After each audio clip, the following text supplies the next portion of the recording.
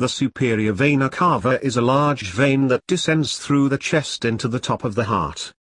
Its purpose is to bring deoxygenated blood from the upper portions of the body back to the heart.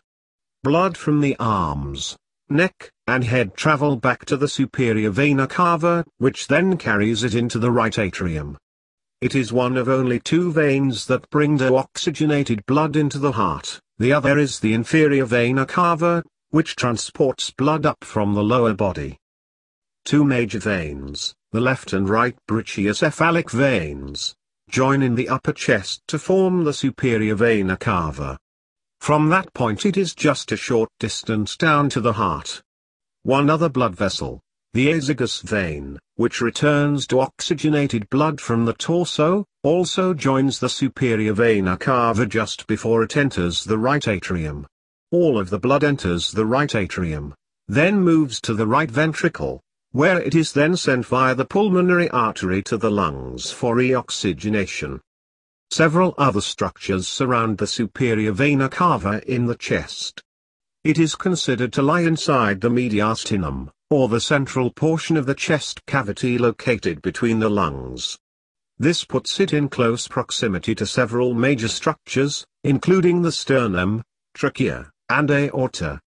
It also sits directly next to the, the right lung's upper lobe. The thin walls of the superior vena cava make it susceptible to pressure from the structures around it.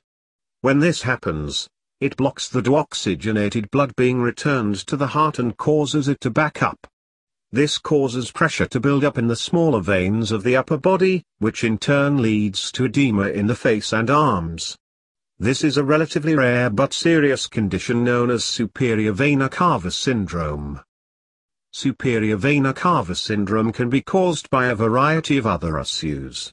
Cancer is the most common cause.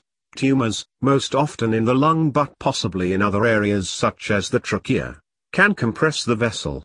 Certain diseases and infections including tuberculosis, syphilis, and histoplasmosis may lead to the problem cardiac and vascular issues, like aortic aneurysms or pericarditis, may put excessive pressure on the vein.